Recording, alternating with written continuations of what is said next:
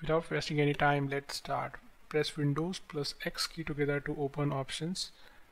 Then click on search. Type TSKMGR in the search. Right click on Task Manager and select Run as Administrator. Now pay attention. For some users, Task Manager would open in quick mode. If it opens in a quick mode like this, then you need to click on More Details. Now click on File menu and select Run New Task. Now click Browse button and follow my screen.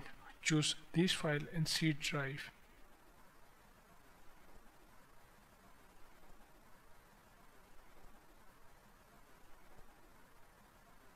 We will need to provide update option before we run it.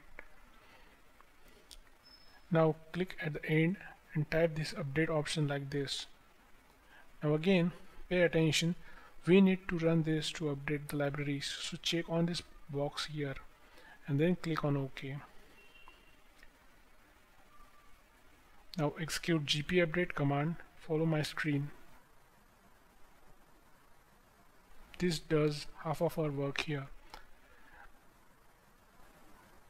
Now execute this cls command. And now type exit and quit this window. Close this task manager too. Now in the next step right click on taskbar open task manager uh, find out discord task mm, and end task. We need to end all of the discord discord tasks. Now open search bar and type run over there. Open run window. And in the search and, and in the text box type this command and click on OK.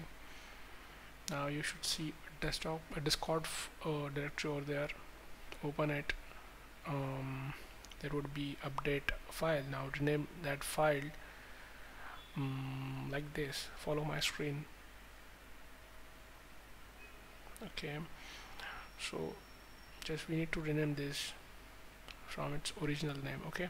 Now close this window. And that's it. Uh, problem should be fixed